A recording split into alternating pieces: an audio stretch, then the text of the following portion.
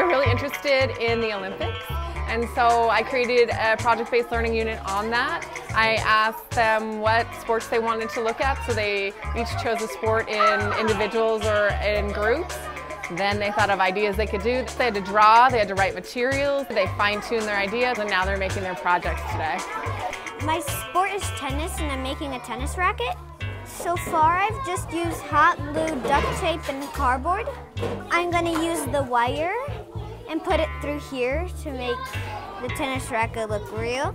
Taking it to the 3D um, gives them a whole nother dimension of thinking about it, planning it, wondering what it'll look like um, in the end. You have to figure out and like imagine before you can do anything because you don't know it's going if it's going to turn out right.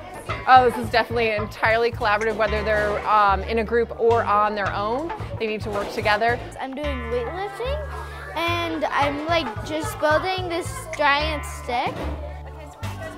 We're working, We're working on, on equestrian dressage. It's about people training horses to dance. Makerspace has from high tech to low tech.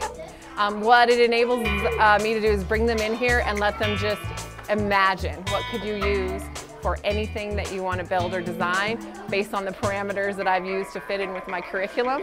I'm making a luge course. It's sled racing pretty much. When I finished this part, I was really um, pleased because it worked out. You have to look at um, the curriculum differently to figure out the ways that you can fit it in. This was definitely something that just kind of evolved and I went with it and with the kids' ideas. Um, I'm building a podium my sport is cycling BMX. So it's gonna be like a staircase on the back side so they can get up. Um, our sport is snowboarding. We're gonna have little marbles that start here and then they go down and then they jump off. And we're gonna need a lot of glue, so. I am building a mountain bike track for my Olympic research. I'm just trying to get a tilt onto this so it can hold it up my Olympic sport is archery. Here's the target. This is the bow. These are the arrows.